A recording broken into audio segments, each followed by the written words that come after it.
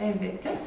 Buradan örnek göstermeye çalışacağım. Mandalalar merkezi noktası alınarak merkezi noktadan başlanır ve dışarıya doğru satırların devamlılığıyla ve o satırların içerisindeki sembollerin devamlılığıyla ilerler. Yaşlara göre çeşitliliği şöyle, aslında bu soruyu e, biraz açmak isterim ben.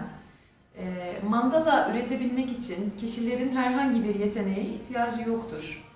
E, dolayısıyla 4,5 yaş üzeri bütün insanlığımız e, hatta ve hatta Alzheimer hastalığına kadar yolu vardır. Giriş seviyesi Alzheimer hastalığına kadar herkes mandala üretebilir.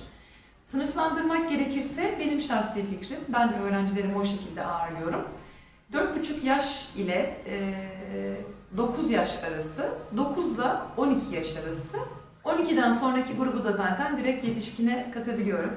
Bunu yapmamdaki amaç şu, e, takdir edersiniz ki ufak çocuklardaki dikkat süresi maksimum aslında 45 dakikadır. Ve mandala aslında ciddi bir felsefeye dayanır ve 4,5 yaş grubu bir e, çocuğa siz bu felsefeyi aktaramazsınız. Çok hayatın içinden anlatsanız da. Dolayısıyla e, onlarla daha farklı bir stilde çalışıyorum.